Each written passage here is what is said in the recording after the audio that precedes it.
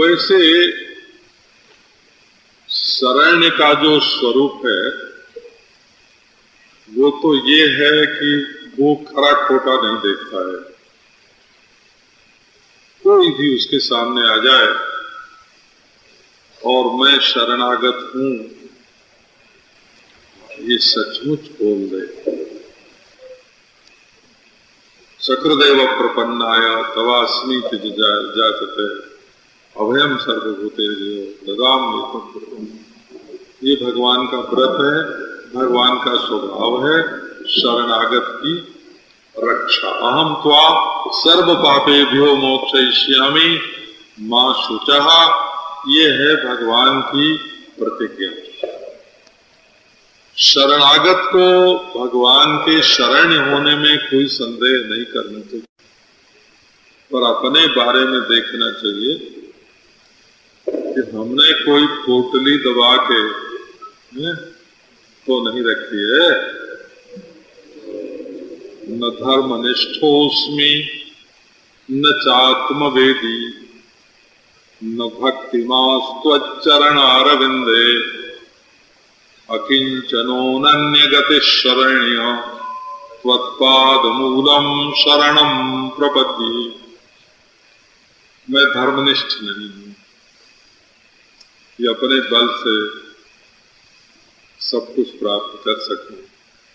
न चात्म वेदी मैं आत्मज्ञानी भी नहीं हूँ कि मेरी मुक्ति हो जाएगी न भक्तिमास चरणार बिंदे आपके चरण कमल में भक्ति भी मेरी नहीं है। तो तब तुम्हारी विशेषता क्या है? हमारी विशेषता यही है, यकीन चना। हमारे पास कुछ भी नहीं है। न धरती है, न चांदी है, न सोना है, न वस्तु है, न स्थान है। अकिंचना किमिति प्रश्न योग्यम दानम जस्य नास्ते, स अकिंचन ये कोठली में क्या बाँध रखा है भाई? बैंक बैलेंस कितना है? नारायण।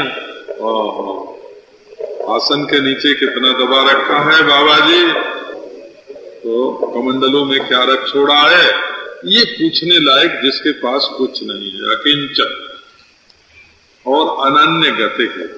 तो बेटे का भरोसा है, बाप का भरोसा है, समाज का भरोसा है ने? अपने रिश्तेदार, नातेदार का भरोसा है। तो नारायण, शरणागत को ये देखना है कि हम किसी वस्तु या व्यक्ति वो चाहे देवता हो, दानी हो, कोई भी क्यों हो। क्या दूसरे का भरोसा तो नहीं है, और कुछ अपने पास रखा हुआ तो नहीं है तो जो अकिंचन और अनन्य गति होता है, उसकी शरणागति पूर्ण हो जाती है।